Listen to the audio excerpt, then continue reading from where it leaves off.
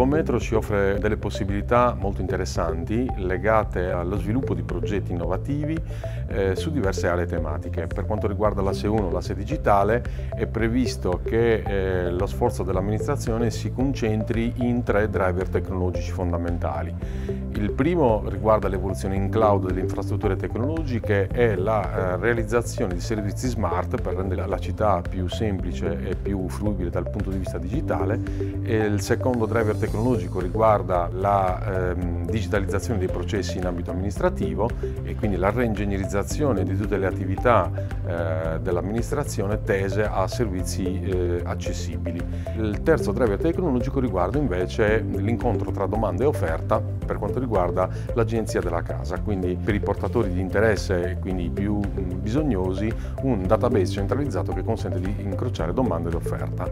Quali sono i vantaggi diretti eh, per, per i cittadini? Sicuramente l'aspetto della trasformazione digitale consentirà ai cittadini un nuovo modo di approcciare e di avere un'interazione con la pubblica amministrazione in maniera molto più semplice e in maniera veloce e consentirà quindi di interagire con la pubblica amministrazione in modalità sicuramente partecipata. Trasparenza, comunicazione, ascolto, confronto rappresentano eh, necessariamente valori che eh, mettiamo in prima linea.